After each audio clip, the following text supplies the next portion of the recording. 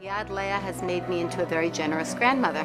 Every time I see my grandkids, I always have something to give them. When they really want to have a nice outing, they come themselves and they pick out things themselves from the store.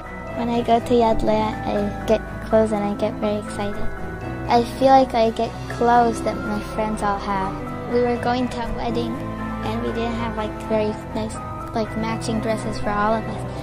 So we found here a lot of matching dresses. Thank you very much for the wedding clothes. Thank you so much for this bag. Now I can go out with my friends. Thank you very much for the pants.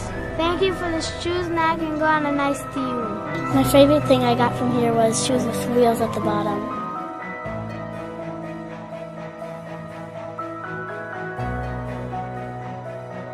When you see the smiles, when you see the gratitude, when you see the what it does for people, you just can't help but want to be involved. Over the years, it's just been amazing to watch the power that clothing has to give people self-respect, confidence, and the ability to face life's obstacles head on.